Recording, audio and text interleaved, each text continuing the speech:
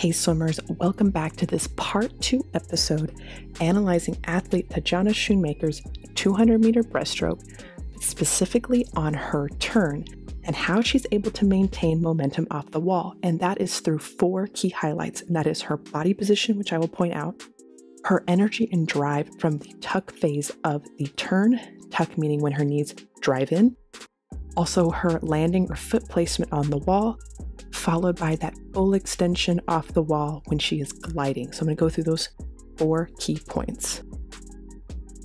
So you're going to be looking at it from two separate views, one from an aerial shot as well as underwater from the side. So I'm going to break down those four key points so you can see how she has the ability to maintain her momentum and think of it more of as she's swimming towards the wall, think of like a slingshot She's very quick, but she's driving her energy towards the wall and then transferring it from that quick turn off the wall in her um, underwater pullout. So pay attention to those four key points as move forward in this video.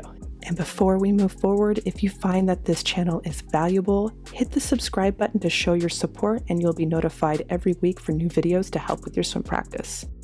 All right, swimmers, let's get to the video.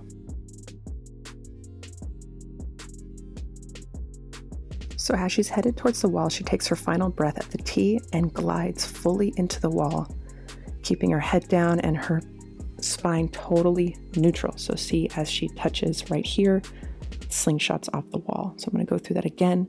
Slow down. Right here, freeze frame, you can see full extension of her legs to the tops of her feet, full extension from her arms, and her head is neutral. So she's really maximizing that length as she drives that momentum towards the wall. As she fully extends on that final stroke, she's just sending that energy towards the wall, which you will see in the next frame. She's able to drive that energy and tuck her knees in fully. So you see right here, she plants her feet at a diagonal. She tucks her, her knees in and she planted her feet at an angle to where her body position is at an angle the reason for that is you are the least resistant off the wall on your side versus flat. So there's absolutely no stalling. She keeps it quick, as I said before, like a slingshot, and she drives that momentum off the wall.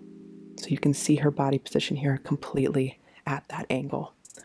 So in just a moment, she's going to push off full extension. Boom complete length and body line off the wall after that quick turn.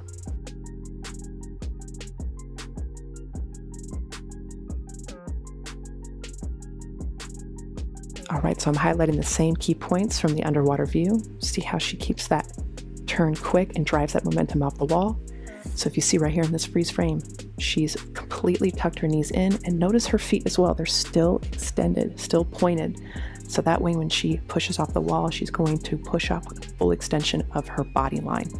And that is from what I was explaining in the aerial view. So right here, she is positioning herself to plant her feet at an angle. And once her feet touch that wall quickly, she's going to power off the wall with her legs that's more of a muscular effort off the wall and drives that into a full extension of her body line. That means her arms are fully extended, her back, her head, her core is engaged, and her legs are fully extended, as well as her feet, which creates that small profile for her to move off the wall quickly and efficiently. So you see right here as I zoom in on her feet, you see that full extension with her feet and legs. And that is how she's able to stay fluid, minimal resistance. And that is the key to having a very fluid and powerful breaststroke turn.